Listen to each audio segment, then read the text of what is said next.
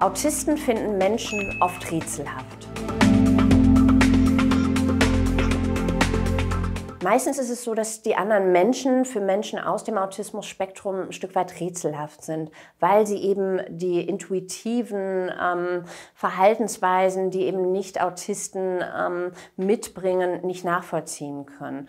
Ähm, das kann zum Beispiel so aussehen, äh, dass sie gar nicht nachvollziehen können, warum andere über einen bestimmten Witz lachen, weil sie den selber gar nicht als witzig empfinden. Oder aber, dass sie sich wundern, ähm, warum andere Menschen Sprache so unkonkret konkret nutzen und nicht ganz genau das sagen, was sie auch eigentlich wollen. Tatsächlich hat es da auch schon Studien zu gegeben, die genau das gezeigt haben, dass sich Menschen, die sich alle im Autismus-Spektrum befinden, besser untereinander verstehen. Und das ähm, kann ich auch aus dem klinischen Alltag ähm, bestätigen.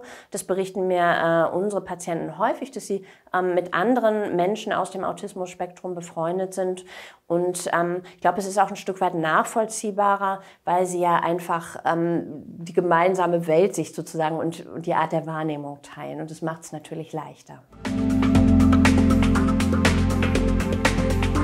Ein wichtiges Missverständnis ist, ähm, dass man Autisten immer für grundsätzlich unempathisch hält. Es ist aber häufig so, dass sie natürlich mitfühlen können, einfach nur, ähm, also das Problem liegt aber einfach an der Schnittstelle, dass sie oft nicht erkennen, wie es den anderen Personen geht. Wenn man das denen aber mitteilt, dann ist es schon so, dass sie auch mitfühlend ähm, reagieren können. Ein weiterer Mythos ist, dass alle Menschen mit einem Autismus irgendeine Hochbegabung haben und zum Beispiel ähm, Mathe-Genies sein. Auch das ist nicht der Fall. Ähm, genau.